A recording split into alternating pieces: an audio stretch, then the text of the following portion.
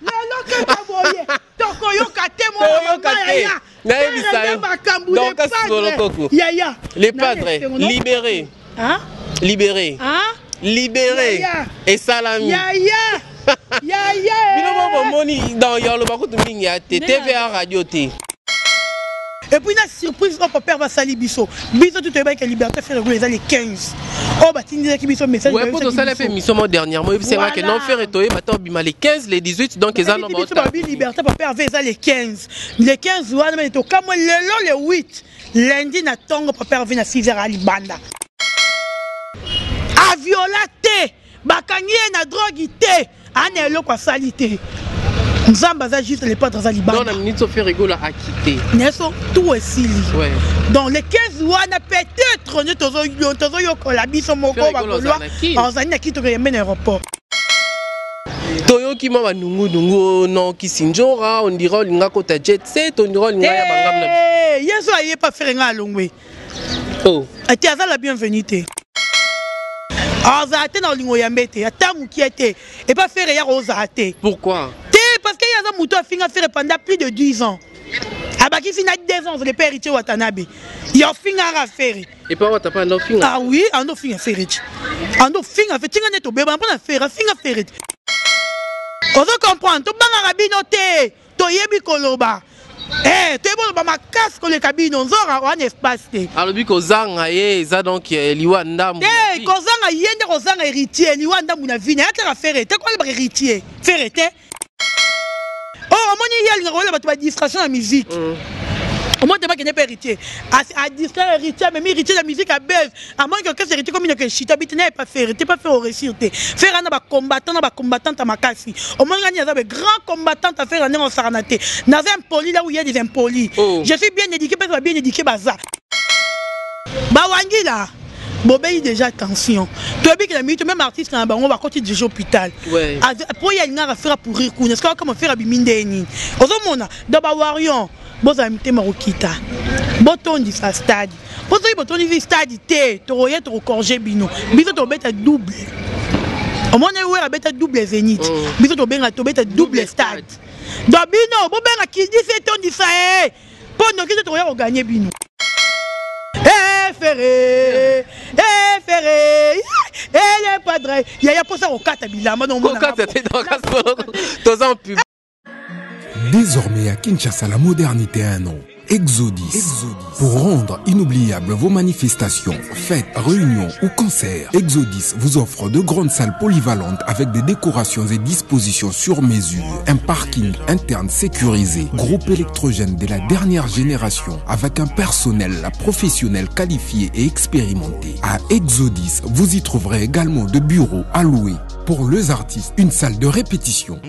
Pour passer vos séjours dans des conditions exceptionnelles et à des prix défiant toute concurrence, Exodis vous propose deux appartements luxueux, climatisés et équipés pour vos constructions, bâtiments, immeubles et autres dans des normes exigées avec plus de sécurité et assurance. Faites confiance au groupe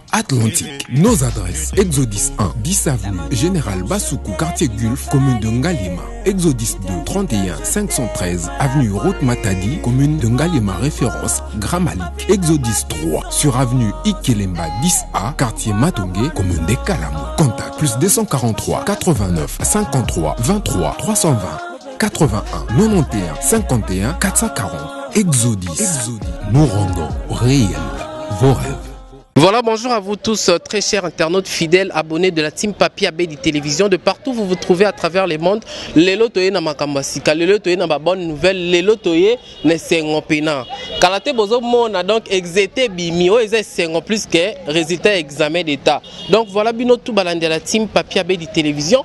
Na pesi bino ba mbote, je voilà donc mon papa, mon papa donc babi papa ka moko Youssouf Mala. les marabouts français Youssouf Mala les marabouts français donc na peso bambote ya yo yango wana papi abedi ya yo yango wana depuis Stockholm trois fois champion d'Europe donc Bobby makambo eza wana bilanga makofi elali wana namoni mpe bongo jansi lumia depuis lubumbashi tozelo awa na kine donc bientôt là arrivé ya jansi lumia na kinshasa napesi bambote na ngai je vois là donc chacha d'or star de TikTok, Christelle Lomboto. Donc, bino tout batu bolingaka passeport rouge, na pesi bino bamboti. Lelo nouvelle eza que Ferre Gola libéré. Donc, et là, ils sont à Boutou déjà, tous déjà nouvelle Ferre Gola libéré. Donc, en tant que ba Gaulois, en tant que ba Tutolingara Ferre, ba Tuto Sepela, la musique qui fait à Betara, lelo toye liboso na bino pour vous annoncer nanga moko te nazwela bino une gauloise babi dorcas bolokoko gauloise bino mo bomone ndenge okota epesa deja mbilinga dorcas bolokoko nayebi te okoki oya deja tokoyoka te mwana mama yaya nayebisa yo dorcas bolokoko le padre libéré hein? libéré hein?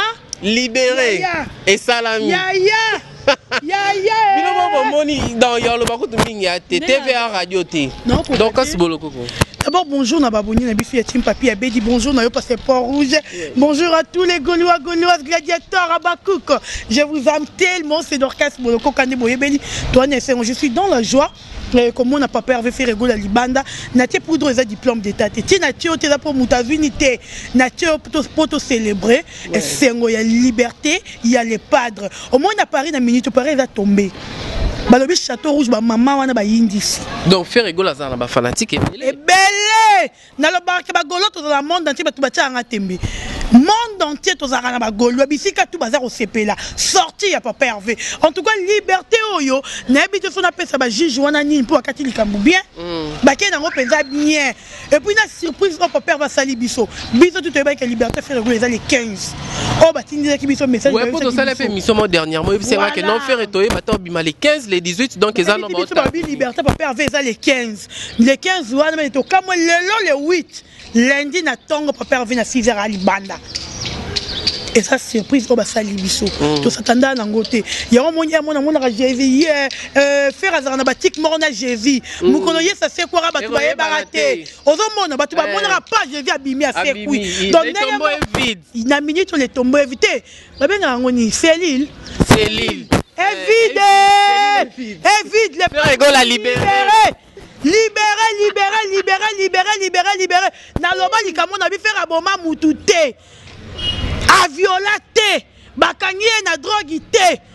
Ana eloko asali te. Nzambe aza juste le patre aza libanda. Donc na minute au faire rigola a quitter. Neso tout esili. Ouais. Donc les 15 wana peut-être nyo tozo yo tozo yokola biso moko ba kolwa. Ozali na kito ko yembe na aéroport. Donc ti mabe dia bongisa ba polonais pona bino pona nyo to ko yemba le padre. Oui, voilà, papier Abedi Yomoro Yoki annonce, c'est pas Dorcas ah. Boloko, bah, Polo est déjà dispo. Dans les 15, le...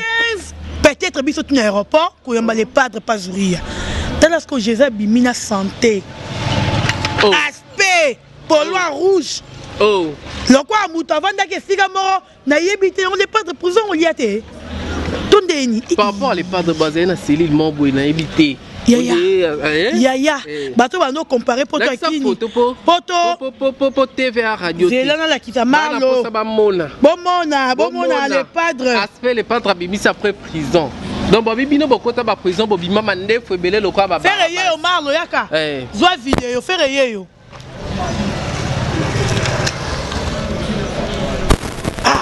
jésus ye wana mingi kuta koloba eza te yesu ye yo mwana nzambe akiti déjà jésus revie bientôt toyesaki bino ke jésus ye wana mpe abimi donc kala mingi te yesu azoya bongola motema ee eh! mais sikoyo dorcas bolokoko toyoka mpe bato ebele mosusu banungunungu ebimi kaka lelo ke eh. no liberté ya fere yola eza provisoire ya solo wana bayinya fere balobaka ya bongo eh. bato balinga fere te balobaka liberté fere eza provisoireokoma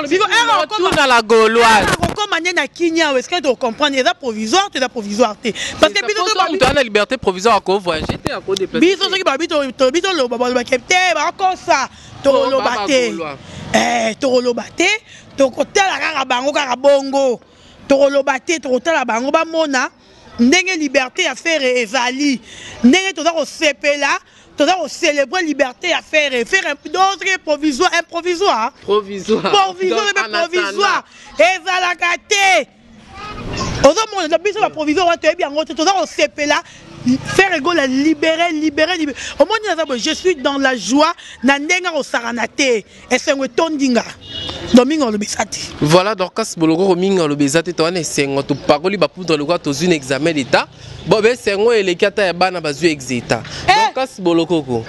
Toyoki mama nungu nungu non kisinjora on dirait olinga kota jet set on dirait olinga ya bangam na biso. Eh, yesu aye pa fere nga alongwe Oh. ati aza la bienvenu te mpo azala mwasi Ke balobaka bongo. te ye soki aye mpenza epa fere ngai alongi mpo azala bienvenu te en tout cas ngai na olingo yambe te epa fere gola aza te na olingo yambe te ata mokie te Et pas faire ya rosa te. Pourquoi? Te parce que yaza muto afinga faire pendant plus de 10 ans.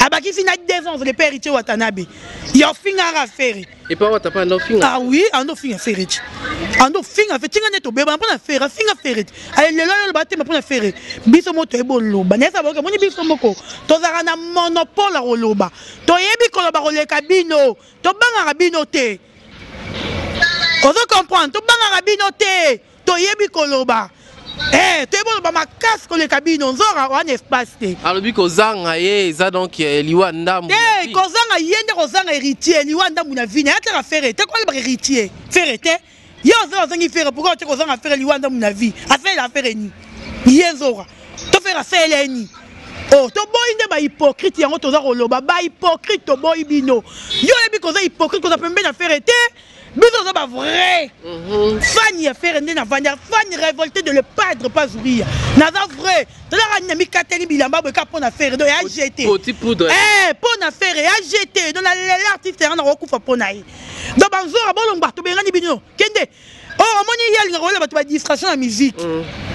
omoni te bakende mpe héritier adistraire héritier amemi héritier na musique abese amoni ke orchestre verite komi neke eshita biti na epa fere te pa fere oreussir te fere ana bacombattant na bacombattante ya makasi omoni nga nini aza be grand combattante ya fere na ndenge osakana te naza impoli la uye des impoli oh. je suis bien édiqué mpe ba bien édiqué baza oh. donc naza vraiment combattante ya fere donc ntina kokufa donc amari bongo na sikoyo ya ah! internet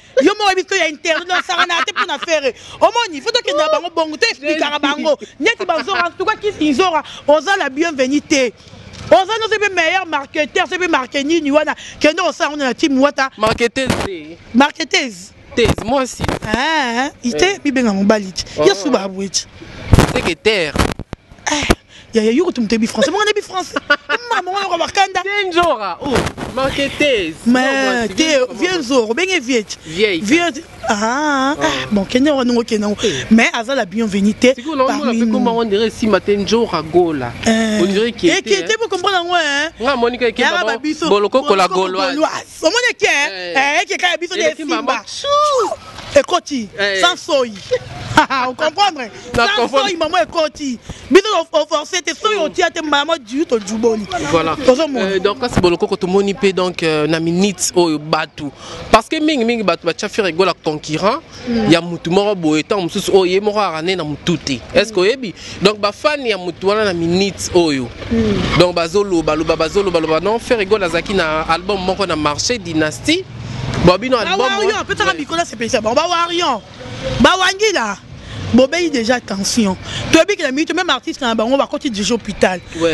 mpo ye alingaka fera pourrir kuna esika kama fera abimi ndeni ozomona donc bawarion bozala mitema kokita botondisa stade mpo soki botondisi stade te tokoye tokokorge bino biso tobeta double omoni wer abeta double zenit mm. biso tobenga tobeta double stade do bino bobenga kidisi etondisa ye eh. mpo noki te tokoya koganye bino epuis bose comparaka na fere matata bino boyebi ke fere aleki bino excuse fere ana prison ngai nabulaki na mibenga numero 1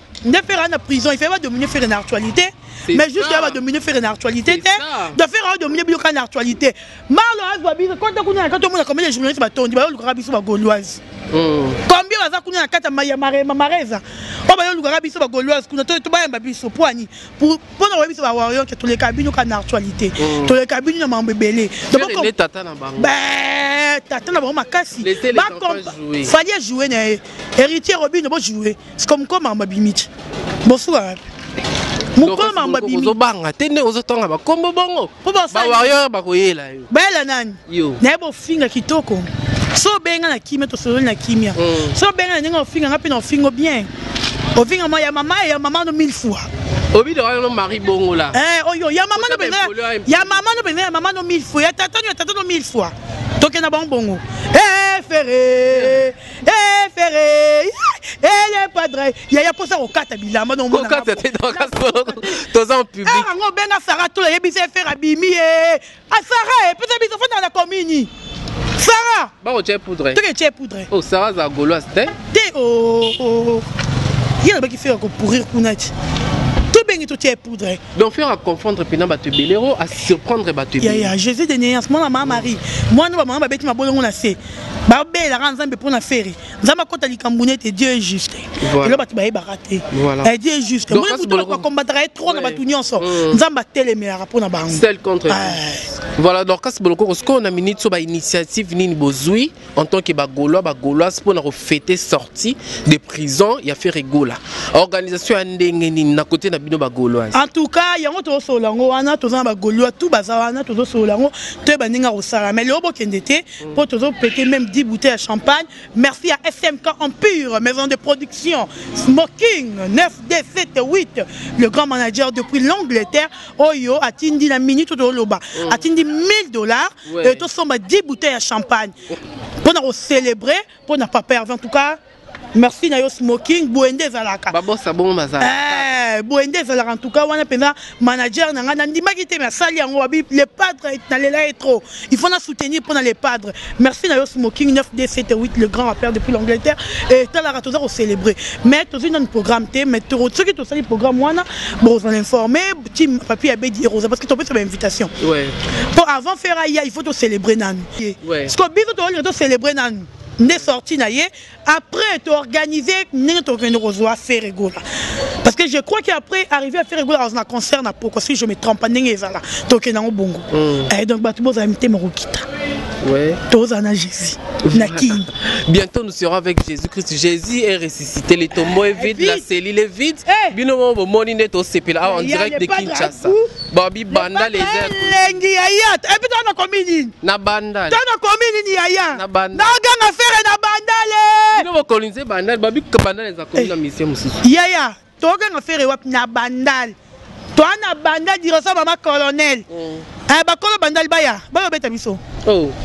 toi na bandal toke ngiringiri te toke ni bovan te toi na bandal eh, mabele mami oyo amonika colonisateur eh, tukani ya bango ti boyeba teke biso oleka ya bango tolekaka bango mosika bango bayebi ke tolekaka bango makasi na ndenge osangana te bango babana bazo mama leve les enfants joue ferego le fille abimi a bajoue ekatani bino na bitio a bajoue ekatani yo banda kosangana na manzanza kima boma moto kotani ndako parce que mokolo makambo aye azongi ayo corge bino ba mise tout ya nzala et puis je dirais merci à Celiosram euh, miel de sang ouais yango na lingana tuna ba musicien pe o ba soutenir euh, Ferrigo la pendant kazaki na prison merci Bana merci mona mingi mingi Celiosram Celio atika ki biso tata mokoma te ouais. en tout cas yaya Poutine Je te porte au cœur, mon frère. Je t'aime beaucoup. Kamata Buzz. Nalela yo ya trop, Célé yo. Et merci Nayo, en tout cas. Euh, merci. na deplique pomba oyo atikaka biso te il a toujours été là pour nous euh, merci ya miel desan oyo mpo aboyaki biso te mm. azalaki wana kaka na biso merci ya patrick beckham oyo mpo atikaki biso te azalaki na biso bilei du maître merci na yo en tout cas mignon abrom yo nde Fally oyo abengelaki yo nini aya oh, Poutine. Oh, pourquoi pas ye? te biso olinga ba impoli te epuis tolinga ba hypocrite te tout le monde hypocrite oyo oh, oyo oh, bino aza sila si oyebi koza hypocrite olingi yo te pembeni ya le padre longba donc oyebi se da bien avant soko miyebi yo te mini abraham oza le bienvenu te longba ata moke te donc kote akendaki kuna esimbaki te te ye mpenza tobengani ye alongwa o oh, yango ayomeka pa fere eh, epa fere siko esimba te tolongoli ye alongwa oh. wanga siko goloise eh. moto oyo bato bayokaka eh. nalobi mignon abraham ozali ya bienveni te toboyi yo na bagolois toboyi yo nyo toboyi yo toboyi yo tolingi yo te kende fana biso kumisa fali kumisa robino yebi nini oyo osalaki na kati ya mouvement ya biso jibe esimbi te bafere nor esimba boni toboyi ye alongba on dirait boboyi bato ebele boboyi kisindjora boboyi mignon aba tolingi nde bavrai eh. zala vrai na fere lokola nga dorcas bolokoko oh. na ye pa le padre sans intérêt parce que tolingi bato ya bongo oye pa fere wana besoin mbongo ya fere te wana besoin biloko ya fere te mingi bayaka pembe na bamusicien baluka nzela potobafutinga boye naa na besoin naza na bango tous les jeunes naza na besoin libanga fere te ni mbongo ya fere mpo nasalama da dorcas fere aya bakisanga makambo na kotele mpo baministre sans audience Gaulois comme moi Dorcas boko ozo mi mi ministre moi ozo sur sur bien Gauloise directement côté sans audience ba bengi okuti mm. donc mingi oloba eza te le pardre eza salanga donc abokanga bokanga te tonango besoin te bino nde bozala ba vrai oyo yebi kazani vrai affaire egola te ozani la bienvenue te ezali mpe le bienvenue te kite kite tobengani yo tobenga ba vrai bato balingi soutenir fere na bolingo solo Ouais. bango nde towana bango besoin voilà dorcas bolokoko tokomi na biso na suka déjà émission na biso mot de la fin na yo par rapport à ma ndenge eza actualité mpe opesi mabanga no mbala moko pour que to en tout cas toza kocélèbre bagolois bolandi nga awa olingi osoutenir biso bagolois ya kin benga même to abengi yo parce que port rouge numéro ezali pardon tolokota poudre yanga mm. naboya esila na bino asoma poudre monene to tomona avanta na bino asomaka ya mokie Donc, yo olingo soutenir Dorcas Boloko, olingo soutenir biso ba Gaulois tout, numéro ya passeport rouge eza na benga. Hormone biso, to célébrer penza fête au bien. Espace ba kabela biso fele. Mm. Aza fan na Ferre Mareza. apesa biso fele mpo tocelebra mamtu ya fere mais esengaka to consommation donc toconsomme awa tosomba babute ya champagne sala nde smoking asali eh, sala mpenza nde smoking asali tomela tomela topete na ndenge osakana te talaka liberté papa herve toloba ko boni voilà. eh, mobali ayaka moko na miziki na génération na ye mobali ayaka moko ya na feri oyo oh, bole reste baba nani te tolobela mibali basi te oh, bona waza mwa te bango moma miyebi me tolobela nde mibali mobali na miziki ayaka moko na génération na feri boloko koyeba eloko pene esenga analyse ya makasi eh, tosala opesi bato question eh? eh, bango bayebi ke mobali azalaka moko feri tala mobali atemi na motuka to na ntongo tala mobali o oh, namoni maka uza alobi badansa mikolo ekomi kaka genre moko eh! oh. epuis na biya soki oza mobali mpenza yaka ozobina soki ozana etolo ma etolo mofeca mwa boye mobali azobina etolo mo eza etia te c'est-à-dire que etolo mo ezalaka soki te konde ekoma boye ya babebe ah, lokola lisapi ya beba 5 eh. ah, dorcas bolokotolobi ka bebe ah, en tout cas merci na bagoloise tout na bagolois na bagladiator toza kaka kosele bomoni na bebi mimi lelo ka fere lelo na obima te journée obanda na marelise oyo tu alinga mona nga naka na marelise bobenga nga na obima te naza naka mpona bagoliwa tu mm. eh, olinga omona dorcas bolokoro yeyo yaka no na mare eza naza awa voilà mm. bambote eza te lelo eh, bambote eza te kasi smoking merci na team papi abedi Voilà. Eh, mukolo makofi ye futaka biya ye pa beti oka likofo longwe. Azongi. Akene. Voilà, merci beaucoup Dorcas Molokoko. Nous sommes arrivés pratiquement à la fin de notre émission, ingénieur Marlos. Donc euh, merci na bino tout bato bolandi biso à travers le monde. Tolela bino ya trop, tolinga bino mabe. Donc le boss Papi Abedi depuis Stockholm, trois Donc euh, na pesi ba mbote na wana na moni bongo babi madame Aziza Riziki fondation Boss Lady maman na biso borphelin mutu oyo akoma maman na biso donc na pesi ba mbote Paji Konde na pesi ba mbote Lili Konde Dianel Konde babi Rit Konde, bino tout la famille Konde na linga bino trop famille Konde El Kin El Paris, Babi Papi Konde, Santiago, eh, ye wana donc na pese ba mbote papa na Paji Konde, ya yo yango wana bino tout na lela bino fort na moni pe lisusu bongo Youssouf Mala le marabout français tout jeune d'Afrique Babi Legacy, ba mbote no yango wana Chimène Mengi, Shishi Ladona, Christelle Lomboto, ya yo yango wana bambote, Priscille Enzau, ya yo yango wana, Chacha Dor, Bertivi Amazon, bambote no yango wana. Donc na lela bino ya trop. Quant à moi, je vous dis au revoir, retrouvons-nous au prochain numéro de nos très belles émissions. Bye bye. Basabona te bashita ye. Ah oui, désormais